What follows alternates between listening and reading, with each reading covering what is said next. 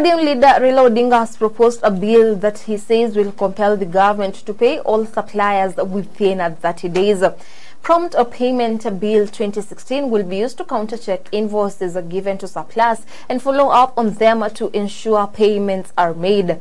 Raila said the bill aimed at strengthening the fight against corruption will soon be presented to Parliament. Our reporter Maurice Owino now takes us through.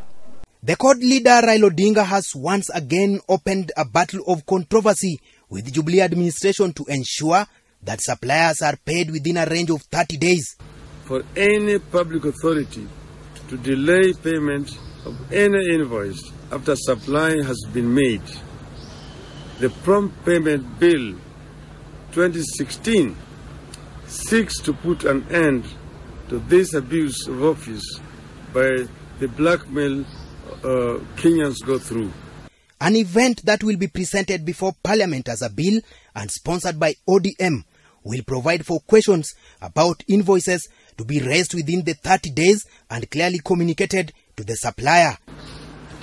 This is the bill that we are forwarding to Parliament, and you can see the honourable members of Parliament who are here are going to present it as a bill to, to Parliament.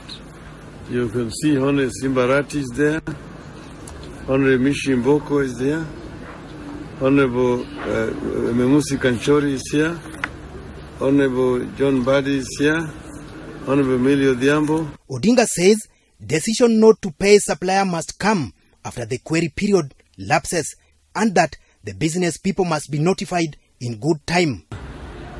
This bill is going to be just like any other bills. There are procedures in the House. When there's standing orders, uh, it's coming as a, a party bill, and it, it will be then uh, first uh, moved, first be presented, and then it will go to the House Business Committee.